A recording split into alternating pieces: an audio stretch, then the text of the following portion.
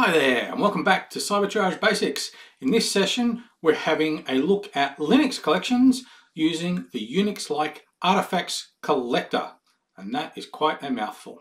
What is the Unix-like artifacts collector or UAC? Basically it's an open source tool, it's developed by a guy called Thiago Lahr and a bunch of other contributors and it is a self-contained package, self-contained collector. You put it on your target system, unpack it on your target system, and then run the initialization script, pass it what is called a profile. And the profile is, is simply a, a bunch of rules on what should be collected. And then it will run all those different scripts and executables that are actually contained within the package across the target system, collect all those relevant files, artifacts, volatile data, whatever else you're after, package them up into a tar gzip file, and then you can load that file into CyberTriage. Uh, you can download the collector from the GitHub page. There's also a bunch of good documentation on the GitHub page, so strongly recommend checking that out. In terms of actually ingesting that collected file into CyberTriage, it's pretty straightforward, nearly as easy as any other collection. One extra step, which is that tar gzip file has to be unpacked before ingestion. In Windows 10, Windows 11, both support the tar command at the command line, and Windows 11 even has support for tar gzip files within the File Explorer. So it's actually a, a, new good feature that has been added to Windows 11, which is, is pretty amazing. It's the only great new feature I've seen in Windows 11. But we're not here to bash Windows 11. So arguments there for the, the tar file, Z deal with a, a compressed image, X, extract, V, verbose, and F is a file, telling it to, to, process a file, and then you give it the path to the file that you want to extract. And we'll go through that in the demo shortly. Just one other little gotcha, one thing to pay attention for, make sure that the tar gzip file is not in the same directory as all those unpacked files, otherwise that's then going to be processed by CyberTriage as well. In terms of the limitations with UAC, it does not collect binary files, so it's going to get hashes of the executable files. Those hashes are going to be uploaded uh, to Reversing Labs and compared, but in the event that they're hashes that are unknown, the binaries themselves are not going to be uploaded for scanning by AV products or anything else. And obviously you can't load them into a sandbox either. The other thing to be aware of is that the default collection depth is only six directories. So that's one configuration that you may want to change. I find most Linux systems go well beyond six directories, especially if you're dealing with a web server.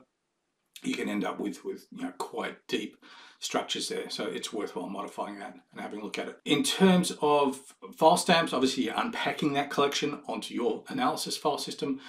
UAC does collect and create a body file, gets all the file system information off whatever file system you're, you're, dealing with. So you are getting a full set of timestamps and everything else within that body file, which is what CyberTriage then uses when it presents you with your results and your information. So let's just dive into a quick demo of how to use UAC within CyberTriage.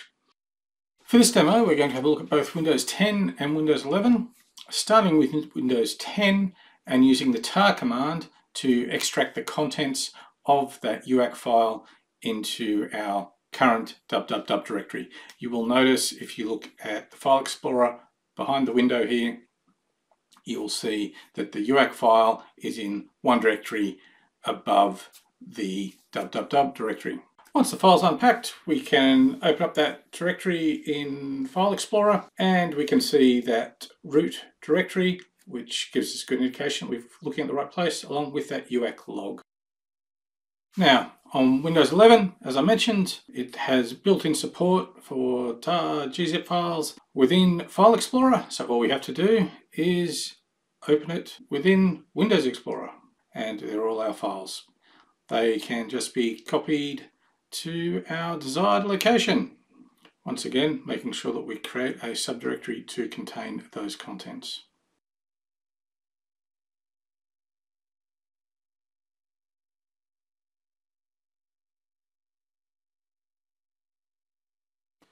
or if you prefer you can extract those files from the command line in Windows 11 just as you did in Windows 10.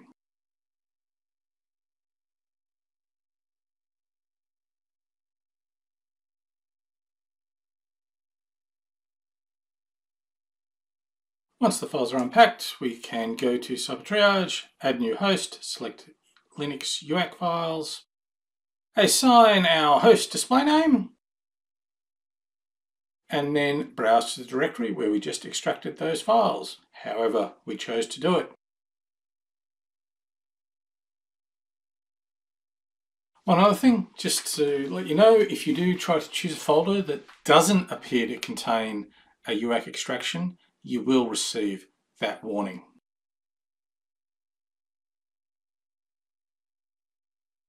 We then ingest as per normal and away it goes.